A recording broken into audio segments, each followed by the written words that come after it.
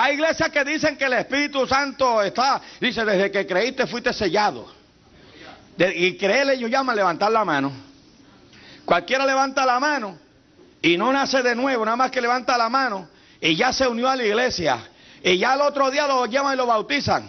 Así todo, apestoso a marihuana todavía y todo. Lo bautizan así, bendito sea el nombre del Señor. Oiga, y así lo sacan y ya es miembro de la iglesia. Aleluya. Yo creo que una, persona que se convierte al Señor hay que doctrinarla. Hay que enseñarle la palabra. Y bautizarlo cuando ya se haya limpiado los pulmones de nicotina, mi hermano. Amén. Cuando ya haya botado todas las botellas de ron que tiene en la casa, las haya botado. Hasta las que tiene de adorno llenas de aguas de colores allí encima del gabinete, las haya echado a la basura. Que los creyentes no guardan ese tipo de adorno. Alabado sea el maravilloso nombre del Señor para siempre. Alábale. Gloria al nombre maravilloso del Señor. Aleluya. Cuando ya mi hermano han roto con todos los vicios. Amén. Cuando ya se santificaron, cuando ya entienden lo que es el bautismo, entonces que se les lleva a las aguas bautismales. Alabado sea el nombre maravilloso del Señor. Cuando están dando testimonio de que Cristo realmente habita en ellos. Y hay que permitir que el Espíritu de Dios dice, no, Dios dice que ya, desde que creíste, ya eres salvo. Y no, y, y, haga lo que haga, sigue siendo salvo. Y no solo eso, sino que está sellado con el Espíritu. Tienes el Espíritu. Tienes el Espíritu y allí no se mueve una paja. ¿Y qué espíritu es el que tienen? Alabanza al Señor, porque el Espíritu de Dios es fuego, es trueno, es poder, es viento recio. Aleluya. Mira, lo menos que es el Espíritu es silbido apacible, pero hay que hay iglesias que ni siquiera se oye el silbido apacible. Alabado el maravilloso nombre del Señor. Y no hay unción, lo que hay es homilética y, y posiciones estudiadas en el púlpito que se amados hermanos. Predicadores sofisticados que un día se parten ahí mismo en el púlpito. Bendecido el nombre de Dios, mi hermano. Alabado sea el nombre. Nosotros lo que necesitamos es poder de Dios. Que el Espíritu de Dios nos llene. Que el Espíritu de Dios nos santifique. Que el Espíritu de Dios saque toda malicia. Que saque toda mundanalidad de nosotros. Que saque todo lo que nos sirve de nosotros. Que nos transforme, que nos cambie. Alabado sea el nombre del Señor. Que nos haga fogosos en el amor a Cristo. Gloria a Dios. Cuando dos personas se aman, se dan de lleno, se dan completamente el uno al otro, se abandonan en los brazos uno del otro, alabados a se aman con pasión, con fuego. Pero a Cristo queremos amarlo con hielo. Hay quien tiene, quien tiene el amor a Cristo conservado en hielo. Alabanza al Señor de la gloria para siempre. ¿Cómo es posible eso, mi hermano? Y yo siento fuego por Cristo, aleluya. Y mire mi hermano, lo que dice la palabra de Dios en, primer, en segunda de Corintios, aleluya. Segunda de Corintios capítulo 1 y verso 21. Y el que nos confirma con vosotros es Cristo. El que nos ungió es Dios el cual también nos ha sellado y nos ha dado las arras del Espíritu en nuestros corazones. Alabado el maravilloso nombre de Cristo para siempre, aleluya. En Isaías 10:27, aleluya, se dice que el que está ungido por la palabra de Dios, el que está ungido por el Espíritu de Dios, aleluya, no está enyugado con nadie, sino con Jesucristo. Todos los demás yugos, la unción los pudre. Alabado sea el Señor de la gloria. ¿Ah? Hay hermanitos que se convierten, pero mantienen, mantienen, mire, la amistad con el mundo, uña y carne con la gente del mundo. Claro, más carne que uña. Alabado sea el nombre del Señor para siempre. Aleluya. Amistades de apretón, como decía mi mamá, con gente del mundo. ¿Quién dijo que nosotros tenemos que tener ese tipo de amistades con el mundo? Hay que cortar. Es que hay cristianos que no, no saben lo que es nacer de nuevo todavía. Aleluya, no han visto un nacimiento. ¿Usted no ha visto un nacimiento nunca? No, no estoy hablando del nacimiento del niñito Jesús, el muñequito en la pajita, no. Alabado, estoy hablando de un nacimiento. Usted no ha visto nacer un bebé. Los bebés nacen y salen del vientre de la madre. ¿Entiende? Y siguen conectados a la, a la placenta de la madre por medio de un cordón umbilical. Toda la vida de su gestación allá en el vientre de su madre se han alimentado de lo que la madre come a través de ese cordón umbilical. Pero cuando lo sacan de la madre, lo primero que hacen después de la nalgadita, le cortan el ombligo.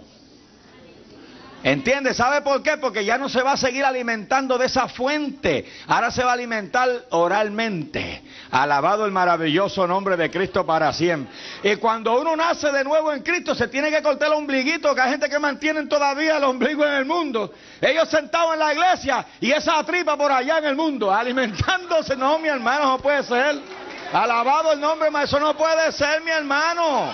Alabado sea Dios. Sea Dios glorificado para siempre. Córtate ese ombligo. Alabado sea el no. Córtate el ombligo.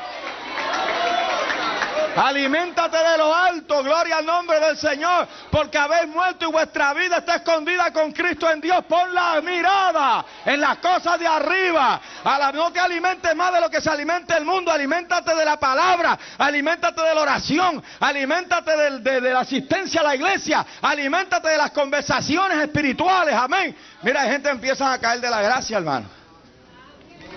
Y usted sabe cómo usted nota que la gente está cayendo de la gracia. Porque se van a buscar a, los cristianos flojos que están igual que caídos. Y se, y se, enyugan con ellos. Dios los cría el diablo los junta. Entonces los ven yugar, todos los cristianos flojos se van buscando. ¿Por, qué no buscan a los que los pueden ayudar espiritualmente? ¿Por qué no buscan a los... Ah, porque los que están firmes le van a decir, vas mal. Y como no quieren que le digan que van mal, no, no, no, quiere que le diga, no, no te preocupes que todos somos débiles. Tú, en la iglesia todos somos débiles, todos somos, ah, si Dios dice que los flacos son necesarios en la iglesia. Pero mira una iglesia de flacos nada más, bendito hermano. Alabados el nombre maravilloso del Señor. Está bien que tienen que haber flacos para que los que están más fuertes los ayudemos. Pero bendito hermano, por amor de Jesucristo.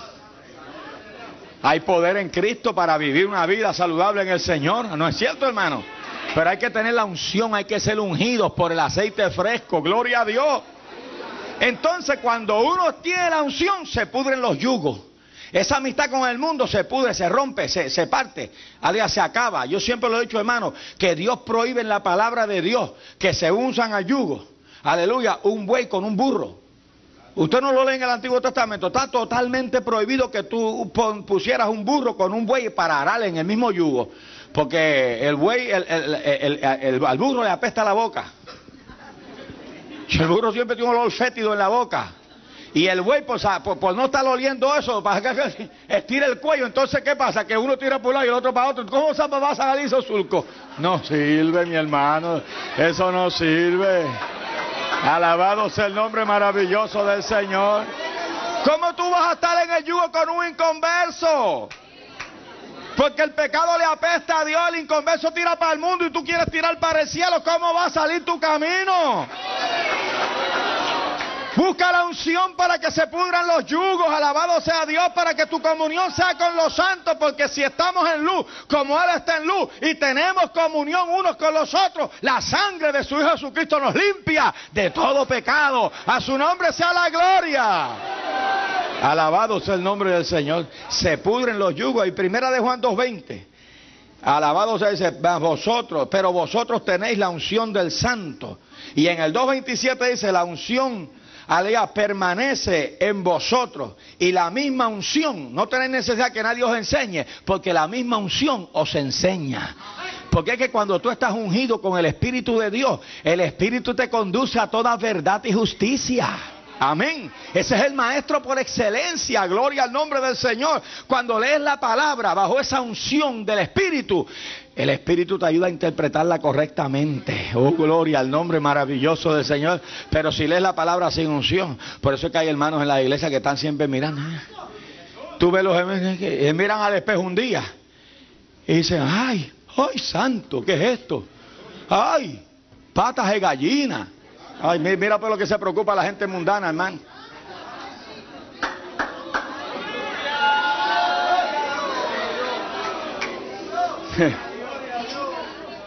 Oye, el hijo mío me cogía por aquí dice, papi, ya te están colgando por aquí. Déjalo que cuelguen, mío. Te preocupes por eso. Si me estoy poniendo viejo, gloria, pero me pero envejezco en Cristo. Alabado sea Dios. Y en Cristo hasta las arrugas son bonitas. Mira a mi hermanita Julia, 70 años, mira qué linda. Gloria al nombre maravilloso del Señor para siempre. Aleluya. Es maravilloso. Las canas en Cristo son una bendición. En la Biblia se habla tanto de las canas. Ay, no, pero que no se vea un hermano, una hermanita especialmente, que ya está. ¡Ay! ¿Qué es esto? Dios mío, no. Y a correr para el tinte seguida.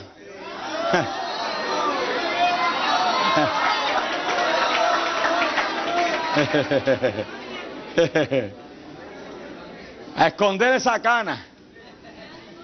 ¿Y qué hiciste? La pintaste de negro, pero allí está. Mira a ver si te puedes meter un tinte que te quite 10 años de, de, encima. Mira a ver, mira a ver si lo consigue. Sea Dios glorificado para siempre. Están como Juan Ponce León buscando la fuente de la juventud. Eh, eh, y que mire que buscaba en, la Florida, ya le dieron un flechazo y murió de una infección en la pierna. Le atravesaron un muslo con una pierna, ya murió de la infección esa. Buscando y que la fuente de la juventud para bañarse y ser joven para siempre. Oye, yo, no he salido a ninguna parte. Aleluya. ¿Sabe dónde encontré? En un campo de junco. Encontré la fuente de la juventud. En una iglesia pobre de campo, mi hermano, encontré la fuente de la juventud cuando encontré a Jesucristo. Gloria al nombre del Señor. A su nombre sea la gloria. Y cuando ungió mi vida, aleluya, me hizo joven eternamente y para siempre. Y aunque me esté arrugando y el pelo me esté blanqueando y el bigote se me adelantó, gloria al nombre del Señor, no me preocupa nada de eso. Han venido muchos cristianos torcidos a decir, hermano, píntese el bigotito. Digo, píntese usted de mi lado, píntese de aquí usted. Alabado sea el nombre maravilloso del Señor para siempre. Aleluya, que yo no estoy preocupado por ninguna de esas tonterías. Yo me preocupo porque la unción del Santo repose sobre mi vida. Alabado sea Dios, porque yo lo que necesito para estar joven, fuerte y poderoso es la unción del Espíritu de Dios. Aleluya, la unción que pudre los yugos. Amén, la unción que nos enseña, gloria a Dios, para vivir en victoria. Una vez fui una hermana que había dejado de dar ofrenda misionera, había dejado de pagar diezmo y había dejado de y estaba ya casi divorciándose porque una cosa viene tras de la otra. Y voy para allá y la hermana empiezo a hablar y a hablar y el Espíritu Santo que es tan lindo, esa unción sobre mi vida.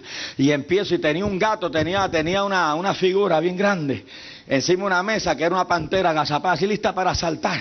Y allí Dios me dio el mensaje para ella. Empecé a mirar la pantera y dije, hermana, mire, se la viré por donde ella. ¿Usted ve esta pantera? Así está el pecado listo a saltar sobre usted y a despedazarla.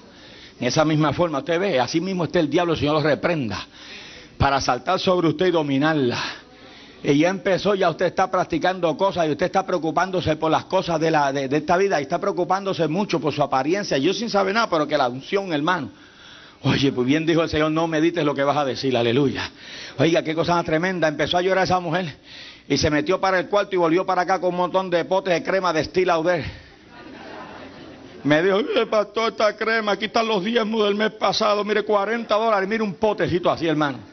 Y le dije, ¿para qué eso, hermano? Pues para tapar las arrugas y las patas de gallina. Le dije, hermana, pero es que te las cubres con crema y están debajo de la crema. Eso no, eso no es engañarte a ti misma. Alabado el maravilloso. Pero es que el que no tiene unción se preocupa por esas cosas, hermano. Alabado sea el nombre maravilloso de Cristo. Y claro, cuando una hermana tiene un esposo que aunque venga a la iglesia sea más mundano que cristiano, alabe a Dios, hermano. Si su esposo va a la iglesia y no nació de nuevo, póngalo en su sitio. Aleluya, con amor, con respeto, pero dígale las cosas como son, porque te vas a dejar ya por ahí, que te estás poniendo vieja.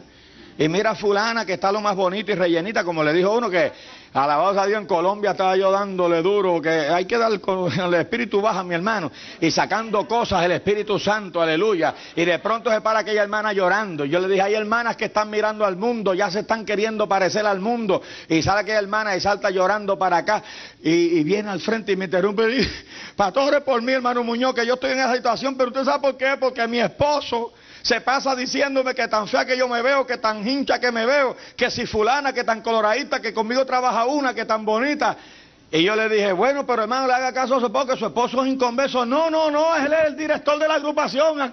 Yo, ¿cómo?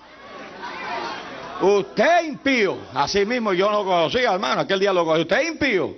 De modo que usted viene aquí a tocar, a dirigir una agrupación y usted atormenta a su esposa y la está llevando al pecado porque usted está perdido ya, hermano. Y usted no siente esa rep y voló al lado de ella. Alabado sea el nombre maravilloso de Cristo para siempre. No tener un mundano así. Entonces se paró el de el primer, el primer, la primera guitarra y la primera voz de la agrupación. Y sabe que llorando también, hermano. Que yo quiero correr por mí también porque yo compro todos los discos de Julio Iglesias. Y me encierro en mi cuarto de la Julio Iglesia y me pongo a imitarlo. Así que hay un montón de cantantes sin unción en las iglesias, hermanos. Que secretamente lo que le gusta es el rock del diablo, lo que le gusta son las cosas diabólicas, hermanos. Alabado sea el nombre maravilloso del Señor. Si hay hasta cantantes cristianos que se ponen a bailar como las mujeres, hermano, como, como Michael Jackson, que es un hijo del diablo, y se ponen a imitar a toda la gente del mundo. Y se ponen unos pantalones bien apretados y una camisa abierta y salen al stage como, como, como, bueno, como un cualquiera. Alabado sea el nombre maravilloso del Señor. Porque son showman, no son hombres de Dios, no tienen unción, son showman. Es más, ahora dan concierto y salen de entre el público allá de entre el público y se pasean por el público cantándole a la gente como, como si fuera Frank Sinatra.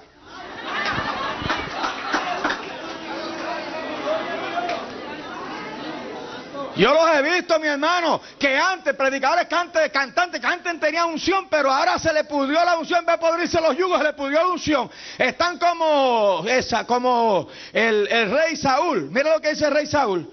En 2 Samuel 1.21, allí fue desechado el escudo de Saúl como si no hubiese sido ungido. Y había sido ungido, pero la unción se la quitó el Señor, porque él era un desobediente, un canto de carne con ojos.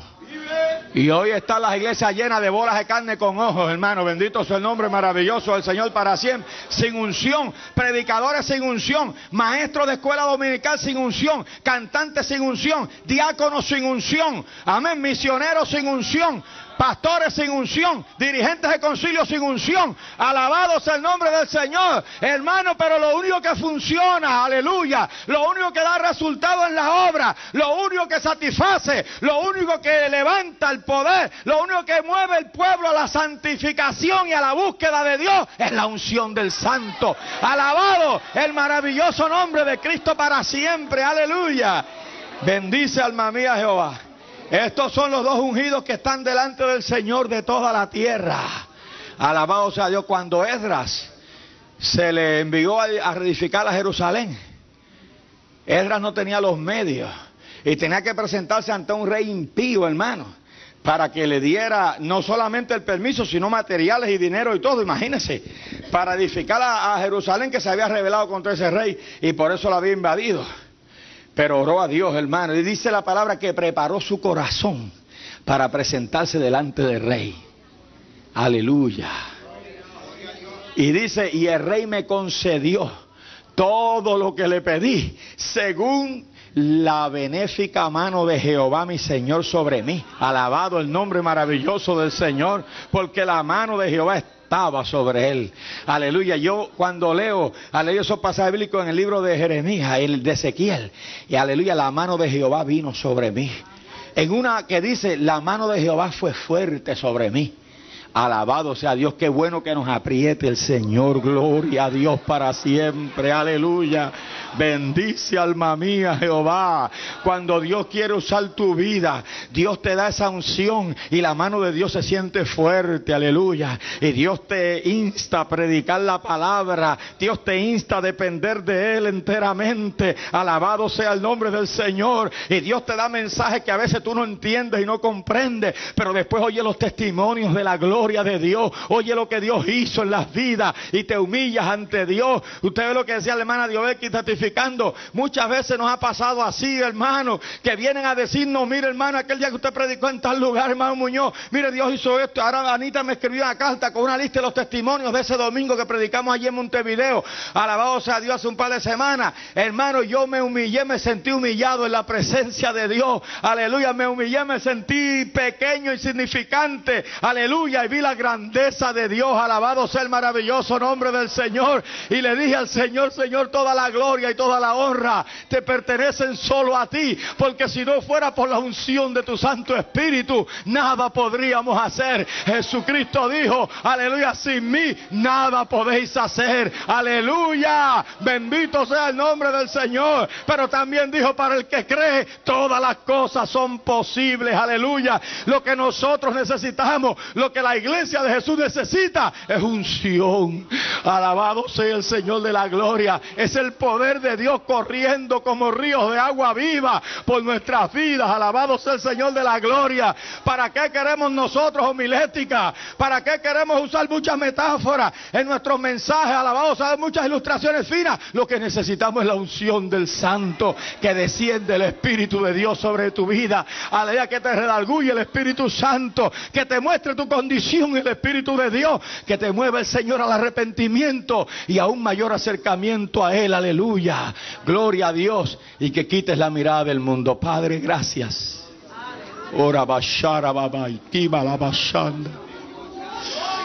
Oh, blessed be thy name. Hallelujah.